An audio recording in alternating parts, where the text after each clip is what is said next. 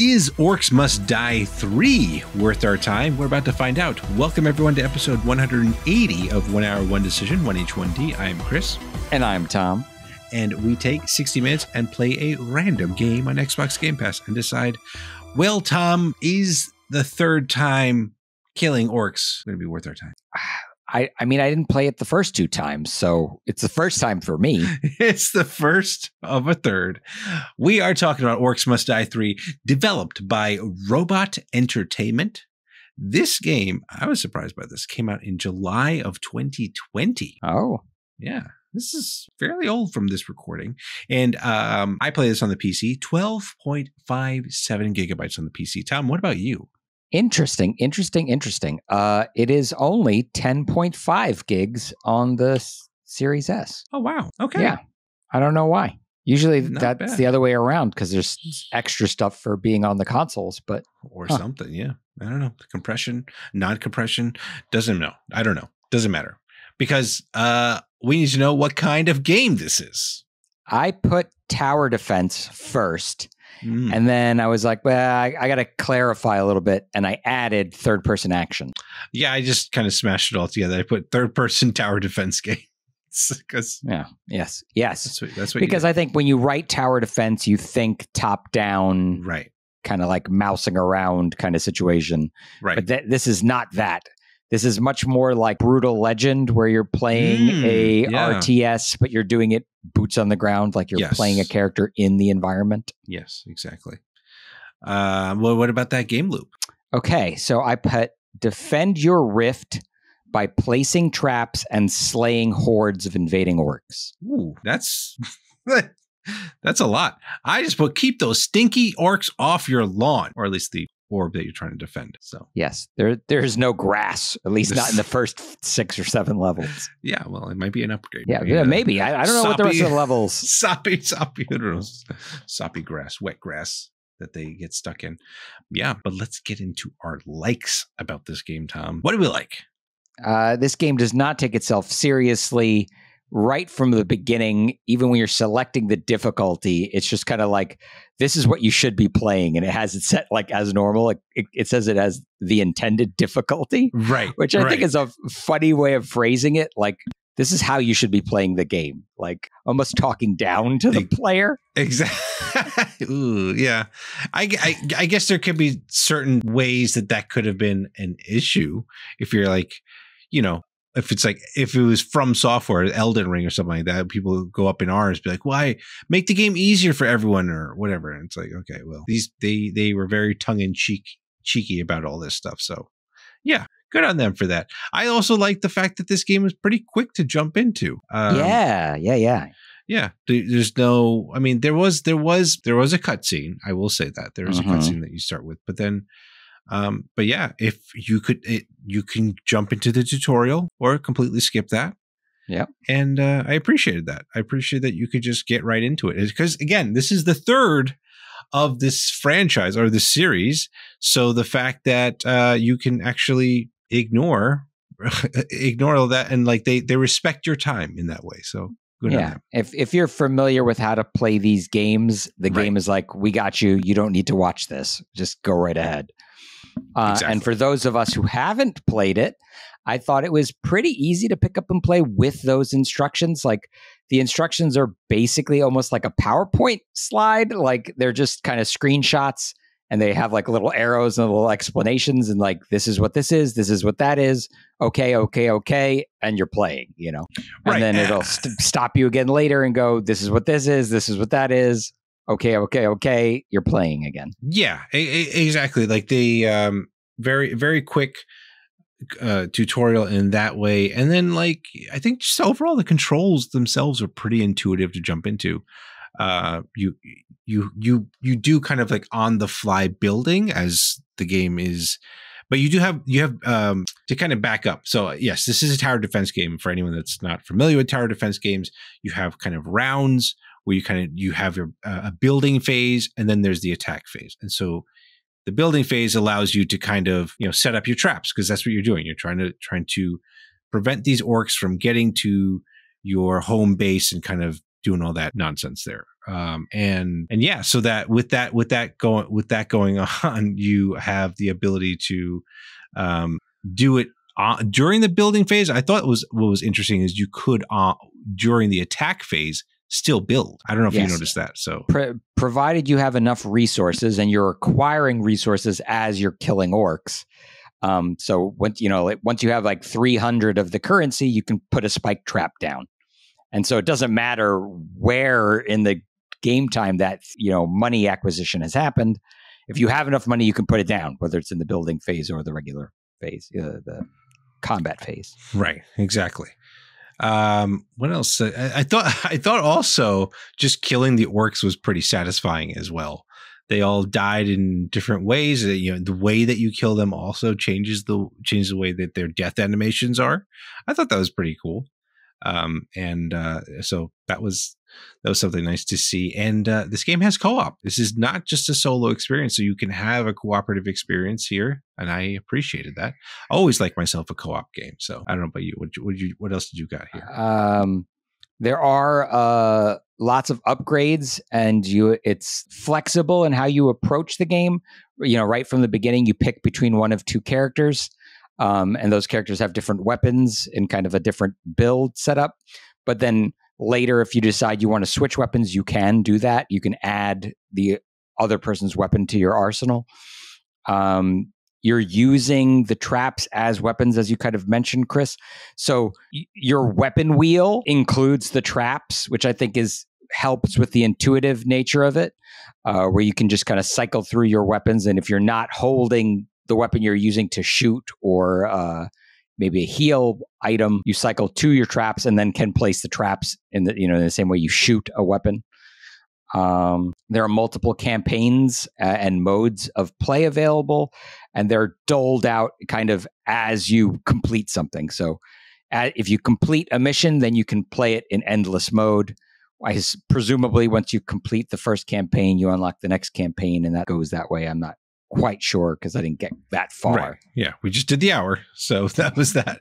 Um, I also thought that the upgrades were kind of like they they built upon each other in a way. Like you know, yes. you're like, oh, I wish there was a way for me. Like I, I, I, as I was playing, I was like, I wish there was a way for me to slow them down a little bit.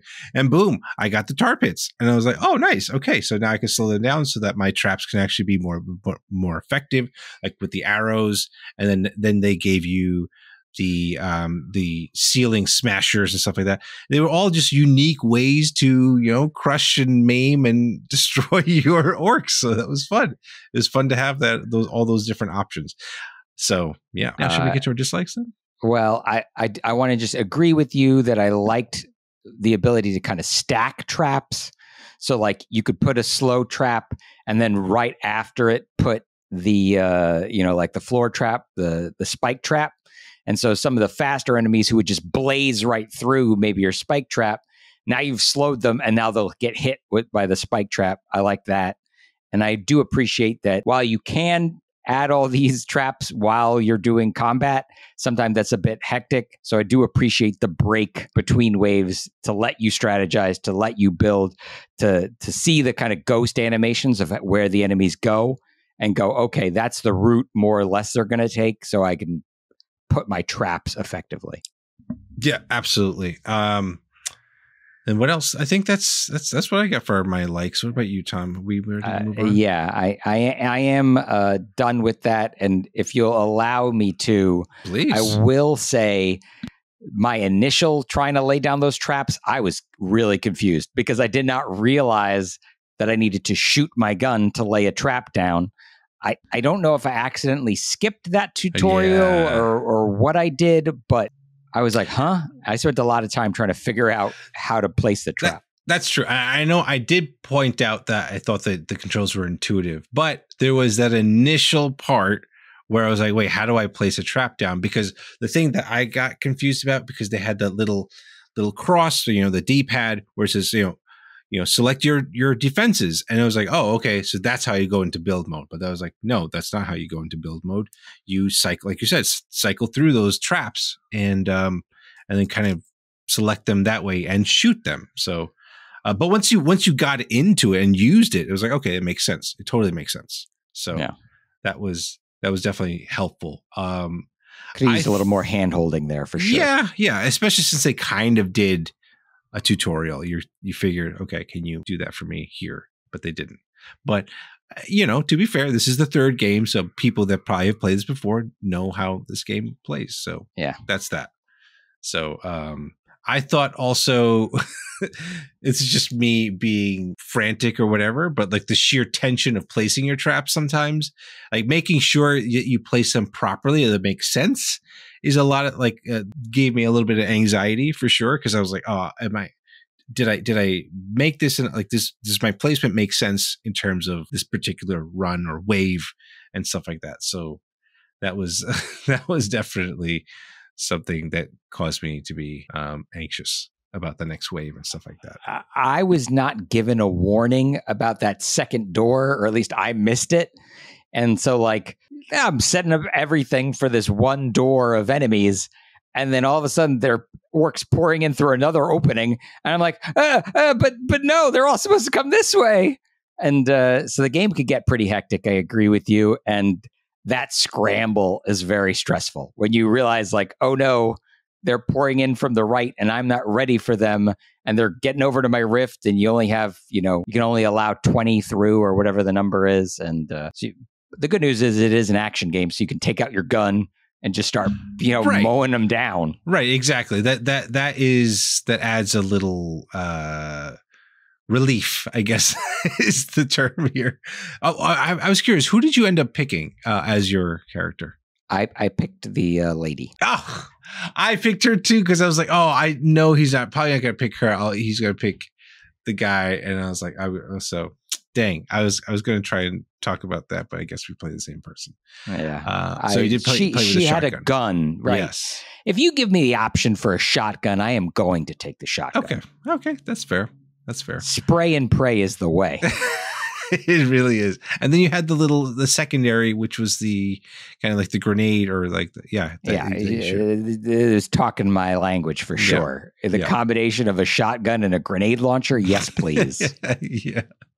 Um, this game, while it was, I I did enjoy it. Like I felt like it could have been a lot more fun if it was cooperative. Yeah. Um, it just seemed like it it really it seemed to lean more towards a uh, a, uh, a shared experience more than a kind of single player. I mean, I appreciate that they gave you a single player mode because that would have been kind of lame if we had to do that oh. or not. You know, so yeah, was, I think it it definitely would have been improved if that's if you were covering that second door while I was right. covering the first door, it, it right. would have made things completely different. It may have made things too easy, though. I'm not sure. This is true. This is true. But I mean, like you know, it's we probably could have burned through a lot more of those uh, earlier levels and probably gotten to more challenging things. Maybe. So yeah. Well, the uh, other thing is if if the resource level is the same, you know what I mean, mm, then uh, you only have so many traps. Right. Right. Yes. That's true. So either they they have to double the orcs, or you're each working with half as many traps. So right. I thought they were uh, like some of these traps were expensive, and the other thing that I wish they did um well two things one when you complete a round or yeah a session they show you how many skulls you got and then there was like bonus skulls but i was like i didn't know about those bonus like how i could have gotten those bonus skulls without you know just playing the game so yeah. it was like okay now i saw it i was like i'm trying to look for them more but it was still kind of like confusing that they you know did that again i know it's the third game so maybe it's just like part of the game and people are like oh that's expected that's how it that's how these games play. I'm like, oh, how it's always been, Chris. Right. right. So uh, that was kind of annoying. And the other thing I wish that they did is like when you go to purchase your upgrades, they tell you how much it's going to cost resource wise. It just tells you how much it's going to cost to purchase it at that point, but just right. not. So then it gives me a little bit more insight of okay, this is going to cost. This is going to be a pretty costly um, trap that I can use. So you know, would have been nice. Would have been nice. Yeah, it might better inform your decision making for sure. Exactly. Uh, there was an option there to like sell back the upgrades, but it was never active for me. Oh. Like I didn't actually have the like I poured in all this money, upgraded a bunch of stuff, and it's like, oh, you, oh, you okay. can sell back these resources, and I'm like, oh, but I can't. Hmm. You know, like it was an option up in the top right, and it was grayed yeah. out. Yeah, I think I pressed that button. I didn't. I didn't confirm it, but it did give me a warning, like, "Hey, if you do this, you can't." I think it said like you can't do it again. I was like, "Oh, that's kind of weird." So I'm like, "I'm not gonna mm. do that." So yeah, so that's uh, that's uh that's what I got for my dislikes. Anything else you want to bring up here, Tom? Uh, two things. One, I think the gameplay is very repetitive. Hmm. Uh, it is a simple loop, yeah. so you're constantly iterating it. Right? right? It's you build traps, you unleash the orcs, you blow up the orcs, you build traps, you unleash the orcs, you kill the orcs. Right. And it just kind of just that's it. That's that's what you're doing. Kind of. Yeah. There are variants. Uh, you know, you're setting up different traps. Maybe you decide to stand in a different place or something. But right. Map basically different or different. Yeah. You know, you're doing the same thing over and over again. The other thing that bugged me is that you are. It seems like we were both playing quote unquote the campaign, but the campaign amounts to an opening cinematic and then just a bunch of level grinds. Yeah. Like I yeah. It didn't feel especially coming on off the heels of playing Immortals of Aveum, right. where there was very much like this interposition between gameplay and story elements. Right. Right. There's there's not really story here. It's it's really just game mechanics and because they do get pretty repetitive I, it felt it might have felt less repetitive if it was broken up by more story beats sure yeah and i think they tried to do that with uh there's some voiceover work in between levels or like while you're starting up the next level or whatnot but yeah i agree it's just kind of like you know here's here's what you got to do next and move on with it um even though yeah they, there was some banter in between but it was still kind of like you know right could have been more i don't know Maybe if we played played it cooperatively, would there have been more banter? Oh, maybe. I don't know. I don't know. But um, yeah, let's uh, let's get into our other thoughts then. Sure. Yeah. How long to beat says this campaign takes about ten hours to complete, so fairly short campaign. And then of course you have your cooperative um, playthroughs, multiplayer. You you mentioned there's a bunch of modes there, and uh, mm-hmm. this is XCloud compatible, so you can play this on the go. Need a controller or some sort of uh, like Steam Deck or ROG Ally to play it, but it's possible to play it on the go. So, Tom, what about you? What you got? Okay, so we've been saying Orcs Must Die 3 a whole lot. Uh, this is actually the fourth game in the franchise. Uh, the third game in the franchise was actually called Unchained, uh, but it was like an online game with like uh, microtransactions and that sort of stuff. And it's it was then discontinued and is no longer considered canon. So it's kind of one of those uh, holiday special esque sweep it under the rug, pretend it didn't happen. Uh, Yikes. This is this is the uh, third. Uh, I'm sorry. Orcs Must Die three is set 20 years after Orcs Must Die two. That's why there are references to that other hero. Yes, um, who was in the first two games. It looks like. Uh, I thought it was interesting that this was originally a Stadia exclusive. It turns really? out that wow. Google is basically the people who funded it. They okay. were fans of the franchise. And so that's how this game really got kind of got launched was being, you know, subsidized by Google for Stadia. Interesting. Um, but then obviously it opened up and it's available on other platforms. Uh, there are multiple expansions for the game that uh, got released over time, mm-hmm. and, and they're all shown there on the launch screen when you're start up the game, but they're all locked. Uh, I thought it was also interesting that the developer, uh, Robot Entertainment, uh, made two other game series. One called uh, Hero Academy, hmm. which was mobile and is gone. Apparently, is defunct oh, wow. as well. Um, and then another game called uh, Ready Set Heroes, uh, which is on uh, PlayStation, which is a multiplayer dungeon crawler that turns at the end of the dungeon crawler into a brawler which to me sounds huh. interesting. Okay. So it's like you work together, uh, get through the dungeon, and at the end you just beat each other up. oh, each other? You don't? Oh, wow. Okay. So yeah, like a multiplayer co-op, like dungeon crawler. Yeah, yeah. And now we've we've made it through the dungeon, and now you put up your dukes and fight it out with your team. Okay, that's uh now Tom. I don't know if you noticed. I, I kind of wanted. I didn't know if where where to place this, but the guy that does the announcements in between that gives that gives you the warnings and stuff like that. Mm-hmm. He sounded very familiar. He sounded like the voice of Vegeta. I don't know if you picked that up. I did not. Did you investigate it? I didn't investigate it, but I, I will. I I'll try to put it, bring an update about that. Um, so you think it's Chris later. Sabat? It could be him. It could be him. It sounded okay. very much like him. I don't know, but the game is ridiculous enough that it totally could be. Yeah. Yeah. So, and it was backed by Google, so maybe they backed backed up a Brinks truck to him too to just say a couple of lines. I don't know, but uh, all right, cool.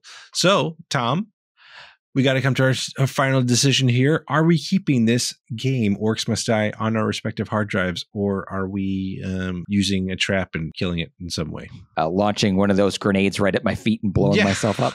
there you go. Um, okay, so I was I've got to admit, I was fully engaged with this game for the hour. Like, mm-hmm. I totally lost track of time, maybe because of the hectic nature of it, maybe because it's like half action game, half strategy game. So I'm using both sides of my brain right. uh, playing it. But once I turned it off, I'm not really compelled to turn it back on again. Like, I had fun playing it, but maybe like I'm not invested in the characters. And there are right. other games, you know, like Immortals of Aveum, where I'm like, I'm more interested in playing that instead. So I don't know. I haven't deleted it yet. It's only 10 gigs. It'll probably stay on the hard drive for a little bit until I right. need some space. Right. Um, but with other options available, I'm not sure I'm going back to this. Okay. Uh, I'm with you in the same way. Like I, I feel like this is a this is a game that you can definitely, you know, over a weekend or whatnot, have some friends, you know, get together and play it. Um, is it compelling enough to play it alone? I don't know. Uh, initially, I thought, yeah, maybe, but then, like, as you were kind of talking about the repetitiveness, I was thinking about it, like, this really does feel like a mobile game. Like it is, I mean, it is basically Plants versus Zombies, but like you know mm-hmm. now in a different perspective or whatnot. But and because I'm like, ah, I don't know, I don't know if I like. Does it have the staying power? It'll like like you like you said, it'd probably stay on my hard drive, but I don't know if I'll keep. I, I will go back to it. Like I really need to go back to it, kind of thing. So yeah, I think if maybe the two of us try it together might be a cool idea. Yeah. Or uh, maybe we get some people who are listeners who want to play with us or something. Yeah. Like, I think that would be how we go back to this. Right. Right. Agreed. So those are our thoughts. Let us know what you think of this game. Follow us and say hello on Twitter or threads at TC1H1D. Shoot us an email at TC1H1D at Outlook.com. Uh, check out our next streams on Twitch, twitch.tv slash 1H1D. Or um, hey, this is on YouTube. We've got we've got comments active. We've got all that stuff. So let us know if you think that we should keep playing this game or we should play it with you. And um, 1H1D is part of the QTB network. So if you like any kind of great gaming content, blogs, TikToks, whatever, check it all out at quitthebuild.com slash network. Yes, yes, yes. Yes, All true. All true. And what else is true is we need to find out what we're playing next. So we will be clicking that surprising button and finding out. Here we go. Oh, tower defense. Tower. Mm, there's towers in these games, but uh, I don't know how much you defend them. But we're going to be playing Assassin's Creed Origins. Ah, so we go back to the beginning, maybe. To the beginning of Assassins and their creed. Yes, we're going to be talking about Assassin's Creed Origin in our next episode. But thank you so much, everyone, for tuning into this episode, and uh, we will catch you in the next one. Thanks, everybody.